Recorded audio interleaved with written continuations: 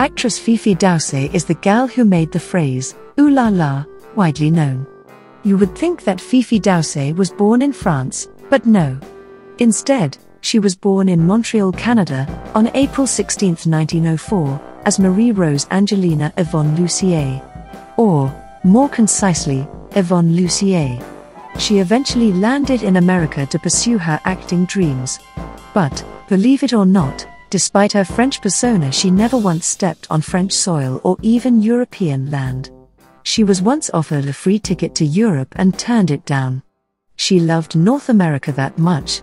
As a young Canadian stenographer who desired to become an actress, she moved to New York City and found work with the 1929 Greenwich Village Follies singing, Yes, We Have No Bananas, in French. But how did she get the part, you might wonder? When the director asked where she was from, Lussier replied Paris, France, and falsely claimed she had worked in the Folies Bergère. The impressed director hired her immediately and billed her as Mademoiselle Fifi. After touring in vaudeville, she headed for Hollywood, adopting the new last name of D'Orsay, after her favorite perfume. Hollywood loved her screen test and cast her as that naughty French girl from Gay Paris in several films.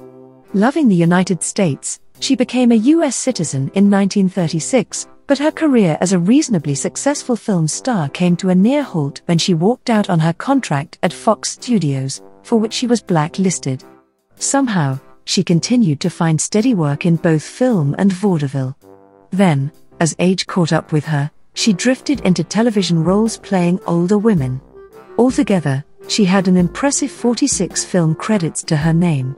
Interestingly, her career began on the Broadway stage and ended there as well. In 1971, at the age of 67, she appeared in the Broadway musical, Follies, playing Solange Lafitte, a former Follies headliner, a character reminiscent of her own career. Her song À Paris with her sexy and strong voice helped make the cast album successful. The Follies opened in 1971 in New York's Winter Garden Theatre and ran for an impressive 522 performances. It won the New York Drama Critics Award for Best Musical and seven Tony Awards. D'Orsay had married twice and passed away in 1983 at 79 from cancer. It can be said, she had a remarkable, ooh la la, life.